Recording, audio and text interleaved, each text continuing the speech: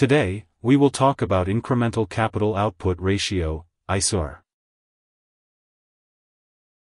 The incremental capital output ratio is a frequently used tool that explains the relationship between the level of investment made in the economy and the subsequent increase in the gross domestic product, GDP. ICOR indicates the additional unit of capital or investment needed to produce an additional unit of output.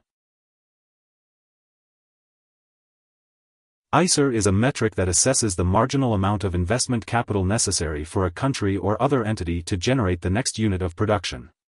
Overall, a higher ICOR value is not preferred because it indicates that the entity's production is inefficient. The measure is used predominantly in determining a country's level of production efficiency. Some critics of ICOR have suggested that its uses are restricted because there is a limit to how efficient countries can become based on available technology. For example, a developing country can theoretically increase its GDP by a greater margin with a set amount of resources than its developed counterpart can. This is because the developed country is already operating with the highest level of technology and infrastructure whereas a developing country has room to improve. Any further improvements in a developed country would have to come from more costly research and development, whereas the developing country can implement existing technology to better its situation. For advanced economies, accurately estimating ICOR is subject to many issues. A primary complaint of critics is its inability to adjust to the new economy, an economy ever more driven by intangible assets, such as design, branding, research and development, and software, which are difficult to measure or record. Intangible assets are more challenging to factor into investment levels and GDP than tangible assets, like machinery, buildings, and computers. On-demand options, such as software as a service, SaaS, have greatly driven down the need for investments in fixed assets. This can be extended even further with the rise of as-a-service models for nearly everything. It all adds up to businesses increasing their production levels with items that are now expensed, and not capitalized, and thus, considered an investment.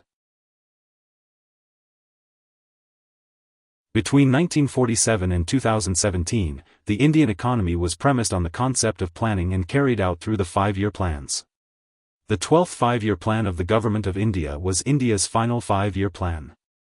The Planning Commission of India determined the required rate of investment that would be needed to achieve different growth outcomes in the 12th five-year plan. For a growth rate of 8%, the investment rate at market price would need to be at 30.5%, while for a growth rate of 9.5%, an investment rate of 35.8% would be required. Investment rates in India dropped from the level of 36.8% of the gross domestic product in the year 2007 to 2008 to 30.8% from 2012 to 2013. The rate of growth during the same period fell from 9.6% to 6.2%. Clearly, the drop in India's growth during this period was more dramatic and steeper than the fall in the investment rates. Therefore, there must have been reasons beyond savings and investment rates that would explain the drop in the rate of growth in the Indian economy. Otherwise, the economy is getting increasingly inefficient. In 2019, India's GDP growth rate was 4.23% and its rate of investments as a percentage of GDP was 30.21%. Here are four key takeaways. 1. The incremental capital output ratio, ICOR, explains the relationship between the level of investment made in the economy and the consequent increase in GDP. 2. ICOR is a metric that assesses the marginal amount of investment capital necessary for a country or other entity to generate the next unit of production. 3. A lower ICOR is preferred as it indicates a country's production is more efficient.